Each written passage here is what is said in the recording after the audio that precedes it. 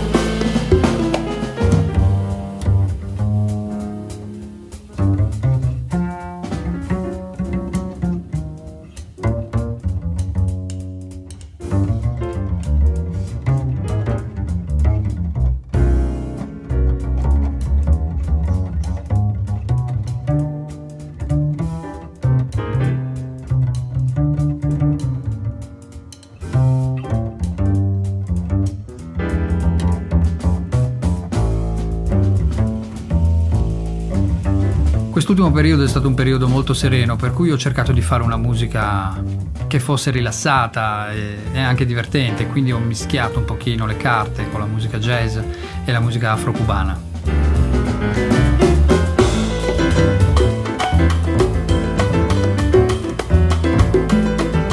Quando viaggi tanto, poi alla fine la casa te la devi portare un po' dentro. E il proverbio dice che la casa non è un luogo ma è un sentimento e quindi ho pensato di chiamarlo così.